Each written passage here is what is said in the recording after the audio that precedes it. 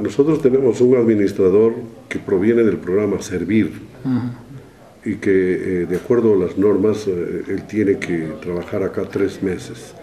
Si satisface los requerimientos de la institución continúa trabajando, si no, no. Por otro lado, nos hemos reunido con los jefes de las, de las diferentes áreas y en este momento estamos en un proceso de evaluación y va a haber cambios importantes en las áreas neurálgicas del quehacer judicial. Eh, por ejemplo, logística va a haber cambios, personal va a haber cambios, eh, informática va a haber cambios. Entonces, eso va a permitir de que se funcione en mejores condiciones el tema.